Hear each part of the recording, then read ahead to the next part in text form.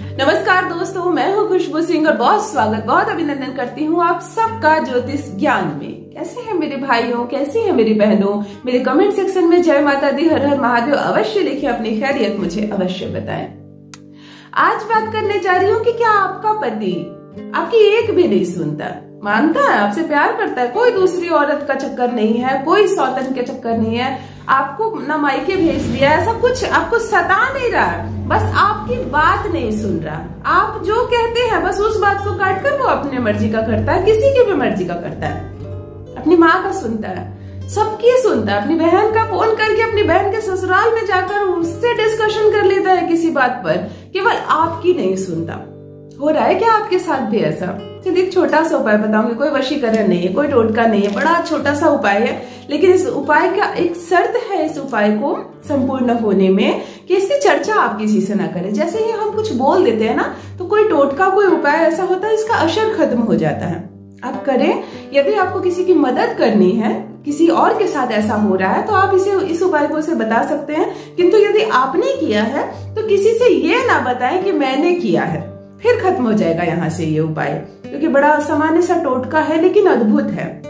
एक नहीं, दो उपाय बताऊँगी, जिससे पति हर वो बात मानेगा आपका। और मानने लायक बात मनवाइएगा, बिल्कुल अमानिय बात मत मनवाइए कि मानने के बाद आपका ही नुकसान होने लगे। चलिए, पहले उपाय के बारे में बताते हैं। पति के सर के बीचों बीच जो बीच भाग होता है मिडिल भाग, रात को 12 बजे आपको पति के सर के बीचों बीच से यहाँ से कुछ बालों को कैंची से काट लेनी है। अब ये तो आपको बड़ी चतुराई से करनी है, क्योंकि इसमें मैं आपकी कोई और हेल्प नहीं कर सकती कि कैसे करनी है। 12 बजे रात को 12 से ना ज़्यादा 12 से ना कम। ज्योतिष शास्त्र में हर चीज़ का महत्व है। समय का, जो एलिमेंट्स हम इस्तेमाल करते हैं जिन चीज़ों को एलिमेंट्स का, ग्रहों का, रंगों का, यदि मैं किसी उपाय में कहूँ कि पीला वस्त्र पहने तो आप कमेंट्स में लिखते, दीदी, लाल वस्त्र पहन सकते हैं, पीला वस्त्र नहीं है, कोई और रंग का चयन कर सकते हैं? जब हम पीला वस्त्र पहनते हैं, तब हम गुरु को अपनी ओर बहुत तेज़ी से आकर्षित करते हैं, अपने शरीर की ओर। हमारे शरीर के जिस जिस भाग में पीला वस्त्र हमने पहना है, पीला चंदन लगाया है आपने, या गुरु पर्वत पर पीला लगाया है चंदन, इन सब का अलग अलग अर्थ है। तो यदि आप पीले की जगह काला पहन लेते हैं तो फिर शनि को आप आकर्षित करते हैं। लाल पहन लेते हैं तो मंगल को आकर्षित करते हैं। तो ग्रहों की बड़ी भूमिका होती है इन रंगों के पीछे।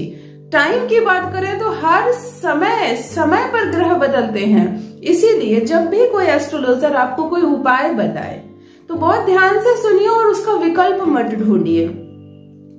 12 बजे रात को पति के सर का बाल थोड़ा सा कैंची से मैंने कहा। अब आप ना कहें, मैं ब्लेड से काट सकती हूँ क्या? मैं चाकू से काट सकती हूँ क्या? चाकू मंगल का सूचक होता है, चाकू केतु का सूचक होता है। मैंने कहा, कैंची से काटनी है। कैंची में दो फलक होते हैं। चाकू में एक होते हैं, ब्लेड में कोई फलक नहीं होता। इसीलिए, इस उपाय को आप ध्यान से सुने कि किसी भी रात, किसी भी दिन की रात, सोमवार से, शनिवार से, रविवार तक किसी भी दिन की रात ठीक 12 बजे, यानी मध्य 12 एक ऐसा समय होता है जो मध्य होता है 24 घंटे की बीचों बीच की बेला होती है। न वो दिन होता है और न ही रात होती है। उस क्षण के बाद ही हम रात और उस क्षण के बाद ही पहले हम दिन का चयन करते हैं। तो बिल्कुल मध्य जो समय होता है 12 बजे का, आपको पति के सर के यहाँ का बाल, एकदम जो बीज होता है, जब हम मुंडन करवाते हैं ना किसी का तो जहाँ बाल छोड़ देते हैं। वहाँ के कुछ बाल को आपको कैंची के दो फलक से ऐसे काट लेनी है और चुपचाप से उसको मोड़कर अपने पास रख लेनी है। आपको अगले दिन से वॉच करना है। आपको छोटी छोटी बातें मनवानी है पति से। बिल्कुल जायज़ घर वाली छोटी बातें आप मनवा कर देखिए। क्या बात मानने लगा? आपको लगा कि बात तो मानने लगा, लेकिन दो चार बातें मानता है, फिर एक बात नहीं मानता है। मैं चाहती हूँ पूरी तरह से मेरी मुट्ठी में हो। जैसे सब लोग कैसे अपने अपने पति से सब चीज़ मनवाते मैं नहीं मनवा पा रही हूँ। बिल्कुल मुट्ठी में लेना है। तब जाकर उन बालों को आप जला दें, जलाकर ज़मीन पर रख दें और अपने दाहिने पैर से उसे कुचल दें, रगड़ दें। एक नहीं, सौ नहीं, एक हज़ार प्रतिशत आपका पति केवल और केवल आपकी बात मानने प्रारंभ कर देगा उसी दिन से। यदि जलाने से पहले बाल आपने रखा और पति बात मानने लगे तो उस बाल को सदा सर्वदा आप अपने पास कहीं रख लीजिए, किसी पर्स में रख लीजिए। तिजोरी में रख लीजिए, अपनी कोई फेवरेट बुक है, उसमें रख दीजिए, किसी लिफाफे में डालकर, उसे आप आपने कब्जे में कर लिया। ये थी एक उपाय। दूसरी उपाय बताती हूँ। दोनों कारगर है, सफल है, बहुत अच्छी उपाय बता रही हूँ। बुधवार के दिन या शनिवार के दिन, यही दो दिन विकल्प है। आप एक दुर्वा घास तोड़ ले दूब घास तोड़ ले। पूरब दिशा की ओर सर कर ले, सामने पूर्व हो। दूब घास को अपने दांतों तले रखें। तीन बार काटे। पहली बार भी काटे, फिर थोड़ी देर के बाद दूसरी जगह काटे और तीसरी जगह तीनों बार अपने पति का नाम ले और कुछ ना बोले।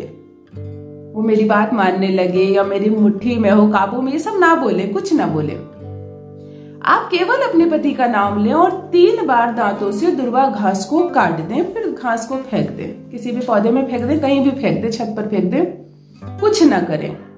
केवल इस टोटके को आप करें, सौ प्रतिशत आपका पति आपकी बात मानने लगेगा। यहाँ तक कि ये जो दूब घास का उपाय मैंने बताया, या आप अपने घर के किसी अन्य सदस्य को भी, यदि आपका बेटा भी आपकी बात नहीं सुन रहा, आपकी बेटी नहीं सुन रही है, या सास ससुर नहीं सुनते, बिल्कुल विपरीत करते हैं तो आप उनका नाम लेकर भी दुर्वा घास को बुधवार के दिन तीन बार अपने दांतों से काटिए। आपकी दांतों से होकर जो भी ज़ुबान से बात निकलेगी, हर हाल में उन्हें स्वीकार होगी। अवश्य करें ये उपाय। अपना अनुभव मेरे कमेंट सेक्शन में अवश्य साझा करें।